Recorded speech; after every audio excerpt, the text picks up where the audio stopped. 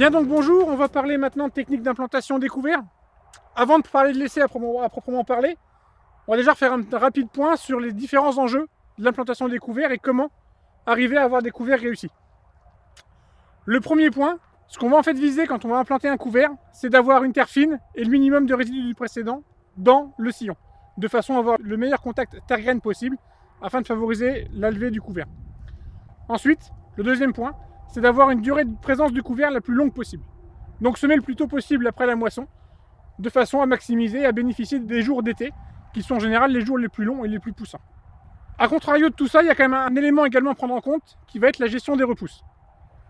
Deux façons de les gérer éventuellement, soit de semer au plus près de la récolte, de façon à mettre les graines de couvert et les graines de repousse sur le même point de départ au niveau de leur stade, ou de pratiquer des faux semis par le déchômage avant d'implanter le couvert. L'inconvénient de cette technique, c'est qu'on va aller implanter le couvert plus tard, de 15 jours à 3 semaines plus tard, que si on l'avait semé aussitôt après la moisson, ce qui va réduire d'autant la durée de présence du couvert. Un avantage également à semer au plus près de la moisson, et notamment en semis direct, c'est d'avoir le moins de dessèchement du sol possible, de façon à préserver l'eau pour qu'elle soit réellement efficace pour le couvert et non s'évaporer au niveau de l'atmosphère. Donc au niveau de l'essai, on est ici sur une parcelle de limon, précédée en blé, avec les pailles qui ont été broyées et restituées. Au niveau de la climatologie, on est sur un mois d'août qui a été, je dirais, pour l'année, normalement arrosé pour, le secteur. Par contre, une période un peu plus sèche sur le début du mois de septembre. Et ensuite, un retour de l'eau autour du 25 septembre, euh, comme partout sur la partie régionale.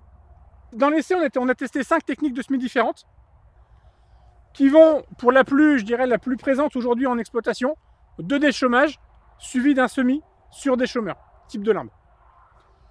Ensuite, on a travaillé avec toujours de déchômage, par contre une implantation avec un semoir à disque, euh, type TCS, type Waderstadt rapide notamment. Trois techniques de semis qui ont été faites en un seul passage. Une en, en semi TCS, toujours avec un principe rapide de chez Waderstadt par exemple. Un semis à la dent, semis direct à dent, et un semis direct à disque. En l'occurrence ici des disques inclinés. Pour la partie semi en un seul passage, tout a été semé le 13 août. Lorsqu'on a passé avec deux déchômages, le semis a été décalé d'une quinzaine de jours. On a semé au 28.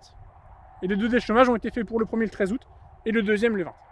Ce qu'on remarque, c'est que de la technique qui va être la moins coûteuse, ici en l'occurrence le Smoradan, qui va coûter, bon an entre 24 et 30 euros, et si on la compare à la technique la plus, euh, la plus onéreuse qui consiste à déchaumer deux fois et semer ensuite le couvert, qu'on soit à la volée ou avec un smart type rapide, on a un facteur 3.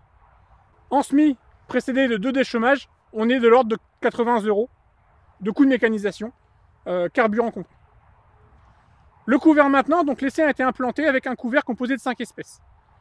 2 kg de radis, 1,5 kg de facélie, 7 kg de veste commune, 5 kg de lin et 4,5 kg de tournesol.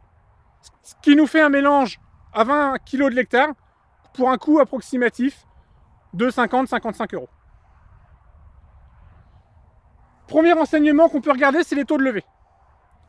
Quand on vient comparer les taux de levée, on s'aperçoit qu'avec des semis à la volée, on est sur un taux de levée qui va peiner, je dirais, même pour les meilleures espèces. C'est-à-dire que vous avez 60% de perte de vos graines qui ne vont pas lever. Par contre, dès lors qu'on vient travailler avec des vrais semoirs, on arrive sur des taux de levée qui sont, euh, je dirais, très corrects, entre 60 et voire 90, voire 100% pour certaines espèces. Un petit bémol à ça, je mettrai la facilité de côté, qui, de façon intrinsèque, l'espèce a présente des taux de levée, je dirais naturellement, assez faibles, de l'ordre de 30-35% maximum. On a parlé également tout à l'heure de la gestion des repousses. Un point important qu'on peut situer ici, c'est que dès lors qu'on a pratiqué avec deux déchômages, on a effectivement un nombre de repousses qui est relativement faible. Une quarantaine de plantes au mètre carré, qu'on soit en situation de SMI TCS précédé de déchômage ou SMI à la volée précédé de, de déchômage. Donc un réel effet au niveau des repousses.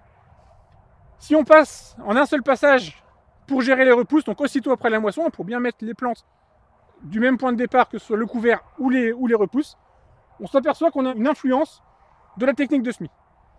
Et au-delà de la technique de semis, c'est le volume de terre qui va être bougé au moment du semis qui va, euh, être proportionnel au nombre de repousses présentes. Ainsi, dans des situations où on ne bouge pas de terre, principalement des semis directs à disque par exemple, et notamment le disque incliné, on est à une quarantaine de plantes de repousses de blé présentes. Par contre, à l'extrême, on est à 80 plantes par mètre carré de repousse de blé en situation TCS, là où on a travaillé tout l'ensemble de la surface du sol. Si on regarde maintenant au niveau de la biomasse, un des premiers éléments qu'il faut avoir en tête, c'est que pour être réellement efficace, un couvert doit faire au minimum 2 tonnes de matière sèche. Au niveau de l'essai maintenant, si on regarde la première, euh, technique de SMI qu'on a utilisée, c'est-à-dire deux déchômages suivis d'un SMI sur des chômeurs, on arrive à une biomasse totale de l'ordre d'une tonne 0,9. Avec quasiment dedans 25% de repousse. Donc finalement un couvert qu'on a réellement semé qui va nous faire 900 euh, kg de biomasse. Donc bien en deçà des objectifs de 2 tonnes qu'on s'est fixés tout à l'heure. Dans cette tonne ici, en plus produite, on a une très grosse proportion de radis, plus de 75% quasiment. Si on s'intéresse maintenant à la deuxième technique de, semis, donc deux déchômages suivis d'un réel semis type TCS, on arrive là par contre à déplafonner en termes de productivité et on arrive à un mélange qui va faire une tonne 5, une tonne 7 de biomasse. Avec une proportion de repousse beaucoup moins importante, on est ici à peine à 10%. Par contre, on va conserver une très grosse proportion de radis, quasiment 50%, et à côté 25% de facélie. Les légumineuses dans ces deux mélanges-là sont quasiment pas présentes. L'explication, c'est qu'en fait, les légumineuses sont semées trop tard par rapport à leur cycle. Une légumineuse, pour être réellement efficace, doit être, doit être semée avant le 15 août. Si on regarde maintenant toutes les semis qui ont été faits en un seul passage, en commençant par le semis type TCS, on arrive sur un niveau de biomasse qui va être d'une tonne 7. Et en corrélation avec ce qu'on a vu tout à l'heure, on retrouve une très grosse proportion de repousse avec environ 20% de repousse. Par contre, l'ensemble des autres espèces semblent relativement bien réparties les radis font 25%, les facélies une quinzaine, les vesses quasiment autant. Donc un mélange relativement équilibré. Le smor à dents maintenant, avec le SMI direct à dents, on vient dépasser les 2 tonnes de matière sèche pour atteindre quasiment une tonne 3, une tonne 4 de matière sèche produite. Avec dedans une faible proportion d'adventices, à peine 10%. Par contre, on va retrouver une très grosse proportion de radis, 50%, et une espèce qu'on avait très peu vue jusque-là, le tournesol, qui va nous faire quasiment 25% de la biomasse totale. Les vestes semblent également relativement intéressantes avec 20% de vestes au niveau du mélange. Si maintenant on parle de la dernière technique de SMI qui consiste au SMI direct à disque incliné, en termes de productivité, on approche les 2 tonnes 5. Donc ce qui est pour l'année, dans le contexte qu'on a pu connaître aujourd'hui, plutôt des choses très intéressantes. On retrouve là encore, par contre, une très grosse proportion de radis, environ 50% de radis au niveau du mélange, les vesses sont en net retrait, à peine 5%. Pour conclure, on s'aperçoit que pour avoir un couvert réussi, c'est-à-dire dépasser les 2 tonnes de matière sèche et avoir un couvert suffisamment dense et développé, il faut minimiser le travail du sol au moment du SMI. Le SMOR à disque cette année semble donner de, bons résultats, le SMOR à dents également. Cette conclusion a été partagée par d'autres essais réalisés par le passé, et on arrive là encore à la même chose. Semer le plus tôt possible après la moisson, préserver l'humidité du sol de façon à avoir le plus d'eau disponible pour la plante, donc travailler le moins possible le sol, qui également aura un avantage sur la gestion des repousses, comme on l'a vu tout à l'heure, moins on bouge de terre, moins on a de repousses également présentes.